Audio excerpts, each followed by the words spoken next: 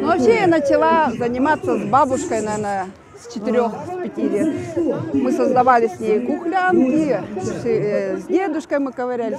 То есть всю свою, все детство свое. И потом с 90 с 2012 года мое хобби превратилось уже в профессию.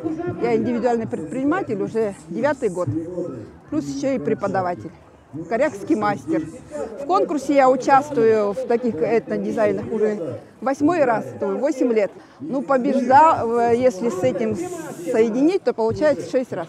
Два года я пыталась всероссийскую конкурс модели «Полярный стиль», где участвует по 60 мастеров, где такие изделия. Но все-таки я победила.